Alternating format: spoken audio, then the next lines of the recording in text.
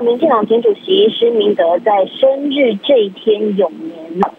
为呢，他在日前呢，其实已经传出病危，不过呢，这个消息呢都没有被证实。不过呢，在在这个今天的凌晨，施明德辞世，享受八十三岁，而这一天也刚好就是他的生日。那么我们掌握到的消息是呢，总统蔡英文他其实在前一天的时候，大约是下午两三点钟左右呢，他才到台北荣总来拜访施明德，隔不到几个小时，施明德。就在医院病逝，而这个消息呢，北荣也稍早发了声明证实他病逝的消息，表示说对方是尊重家属的安排，也会提供给他们必要的协助，妥善的来处理善后的事宜。家属感谢社会各界的关心。而其实施明德他在去年底的时候就被爆出了病危的消息，在台北荣总装叶克膜为生，甚至呢一度在这个月十二号的时候被。误传了他的死讯，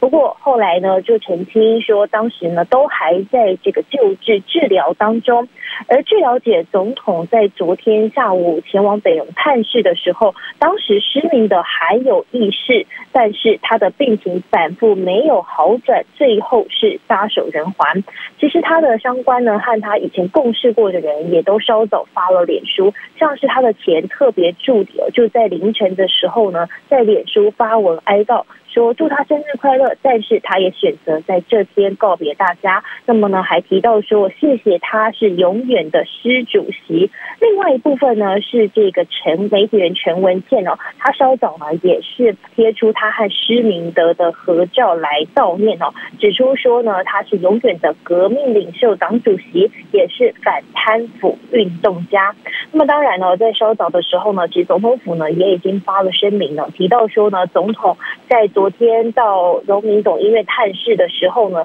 当然是也稍早得知这个他的死讯之后，总统感到相当的哀伤不舍，也希望他的家属可以节哀珍重。而民进党也发了声明，提到说呢，对于施明德的辞世哦，表示。最沉痛的哀悼和不舍，也对于他对台湾民主自由和人权奉献至上崇高的感谢和敬意。而第一时间，赖清德也已经向家属表达了慰问。也请呢相关的人可以全力来协助办理后事。那其实施明德呢，他的一生呢相当的精彩，尤其是这对于民主运动的部分。那稍早的时候呢，他的女儿呢也有提到说，谢谢大家的关心，也指出说父亲一生捍卫的精神和价值。相信会在我们的世界里诞生长长久久的茁壮，而他们也特别提到说，父亲是在生日的这一天启程。那当然呢，不管是在什么时候，都觉得父亲